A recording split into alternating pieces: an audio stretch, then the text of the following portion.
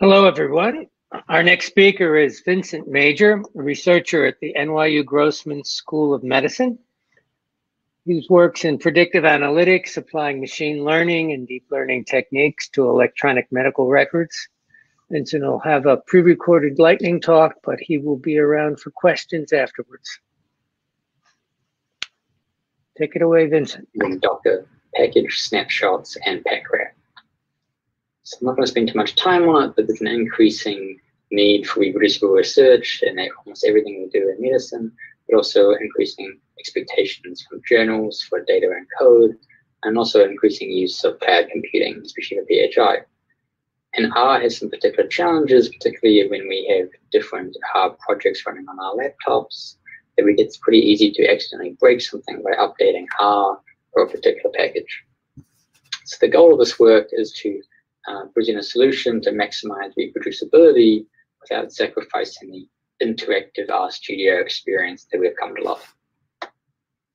So there's quite a few hurdles to reproducibility, but we're going to control as many factors as we can, particularly the operating system and libraries in that system, the R version and the package versions for a particular project. If all of these three things are controlled and specified, your analysis should always be reproducible. So my recommendation is definitely is being proactive is better than being reactive. Investing some time up front to make sure you have everything organized will definitely pay off in the long run. For two years, I've been using a solution using Docker package snapshots and our package called PackRat that manages my uh, packages for me. So the reason we use Docker is Docker really has complete control over the operating system. It doesn't matter if we're running on my laptop or a server or AWS. I can specify a base operating system, um, usually it's a Linux like Debian, for example. Then I can install any dependencies that I need, OpenSSL, libxml2, etc. Then I can install R, particular version, and install all of the R packages that I need. Now what this means is everything is isolated and run together as a single entity which means I can pick up this Docker container and put it somewhere else to a different server, a different cloud uh, platform or my own laptop, and it will run identically the same. So a lot of this hard work for R has been done for us by, by a great team called Rocker. Um, there's particularly some version stable images. So what this means is for many of the last few years, R versions, for example, 3.4.1, there was a set of images exactly for that R version, which is really great. Particularly uh, on top of the base image is one that adds the interactive R Studio as well as some other options. It's very easy to pull this image from the Docker Hub using docker pull Rocker R Studio 3.4.1. And then when it comes time to test that out, we simply run that container.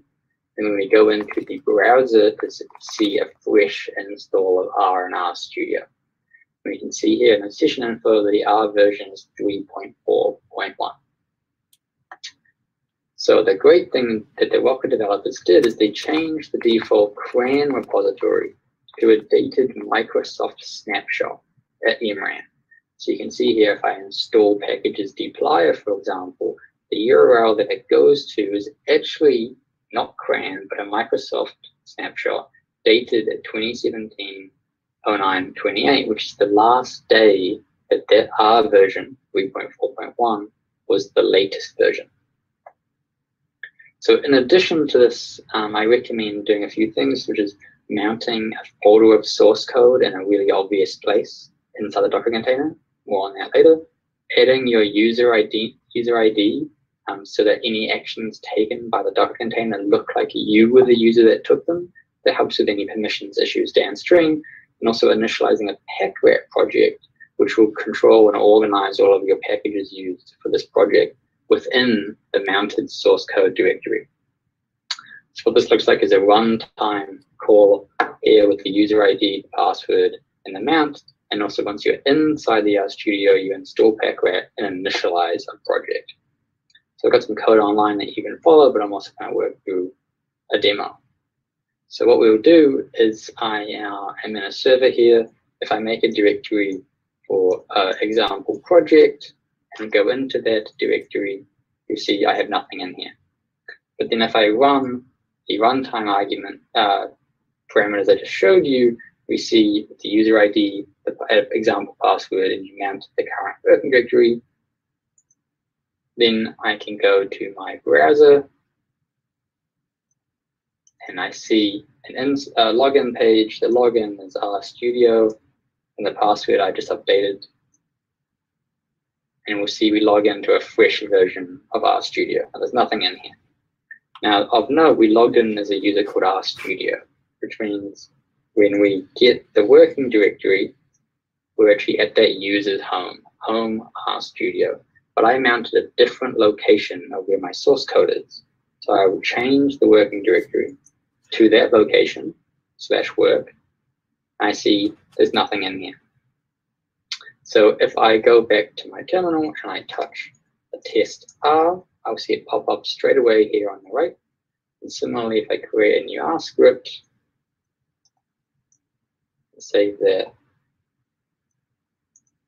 it's script R, I will see here that it's also outside the container in my source code directory. So the great thing about this, moving everything into a slash work location, is cognitively we know everything in there is going to be copied outside. So the next thing to do is install Packrat. And then we use Packrat to initialize a project at the same location, the, the project location. You see it creates a folder and some other details here.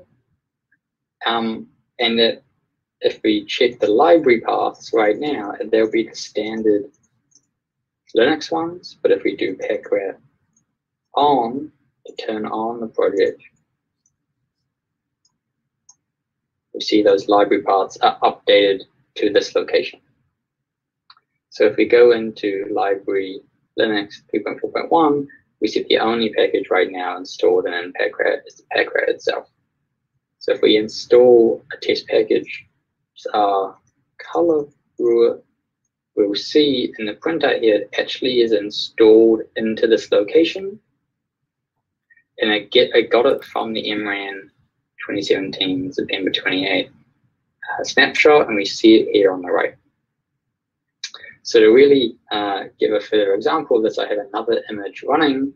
Here it is. So if I log in again, so this is sort of what I do each day when I go to work. So here I am in a blank uh, studio because I've refreshed the session. Um, and I have actually stopped this container and brought it back up again. So what I will do is I have an example script in a packrat here at slash work. So if I check the library paths and go packrat on to turn it on again, the library paths will have it updated. Now if I go to my example script, straight away I can load ggplot and load dplyr and run my analysis just like it ran yesterday, even though I stopped and brought this container back to life again. So hopefully that was helpful for everyone. Um, and thank you for taking any questions and thanks for listening.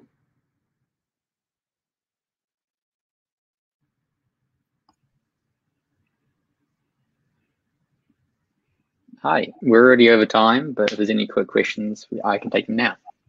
Yes, do you have any opinion about the new RENV package instead of PackRat? Yeah, I was actually not not not aware of that at all. Um, I would definitely be looking into that a little further. I think it's very interesting that uh, it was one of the same developers, and you know, learning a lot of mistakes. I think is a a good example of what the R community is like. Anyway, um, I would definitely hey there. I'm Karthik Ram from the University of California. And um, another question: uh, Can can people run uh, R notebooks and RMD files? Yeah, once you get into the R Studio, um, everything works in the, in the normal way. So um, I do use a lot of R notebooks in this exact system. Um, the only issue is sometimes when the container goes down um, for whatever reason, uh, it tries to bring back up the R notebook, but it's frozen between not knowing which set of libraries it's using. So you have to just be patient with it and then turn the packrat back on, um, and then everything sort of comes back to normal. Excellent. And maybe we have time for one more question. Um, user says a naive question, but does Rocker support the R version 4 and higher? Yes, um, I believe there's some links in there uh, on the Rocker organization, uh, sorry, on the Docker Hub for Rocker, um, that they've split their repositories into a different place starting at R version 4.0.